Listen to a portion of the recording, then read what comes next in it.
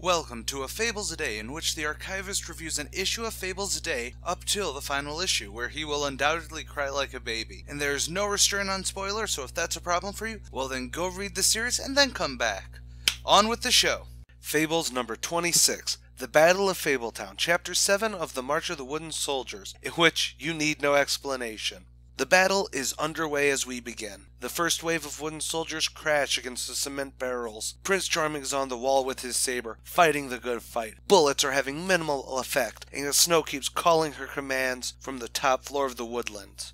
The Knothead army breaks through the first barricade with the Fables pulling back, leading the enemy directly into a grenadier trap. After all the grenades are used, then the big fighters get sent in. People like the Bears, the Rhinos, Beast, Grimble, and Hobbs. The heavies, basically. Even Boy Blue enters the fray, showing off phenomenal skill. While they attack, the rest of the Fables make a show of retreating to the woodland courtyard. The knotheads follow en masse, walking right into the barrels of a line of cannons. Though taking out a lot of them, there's still enough to make this a hell of a fight, and Wayland Smith is riddled with bullets. While Boy Blue calls for the medic, he is hit. The toy soldiers are using their fallen comrades' parts to repair themselves. The heavies are called for retreat, yet Baby Bear is gunned down.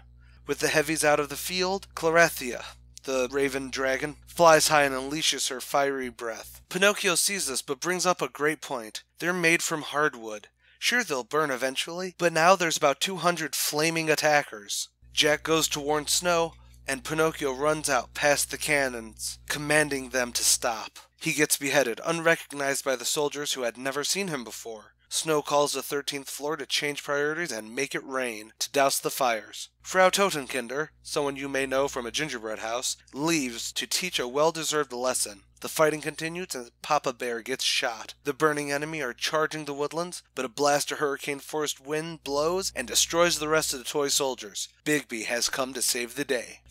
Whew, ah. The first time I read this, I needed a cigarette at the end of this issue. It feels like a large scale battle. Unlike a lot of other comics or films, even that have grand battles, it takes a very specific thing to make a battle feel big. A lot of entertainment media gets around this by focusing on one character in the battle or small groups, but instead, we see all the characters we've grown attached to enter this fray, while never limiting itself to any boundaries. And yes, this death toll is going to be relatively high, but the fallout of this battle and the death toll we will get into next time.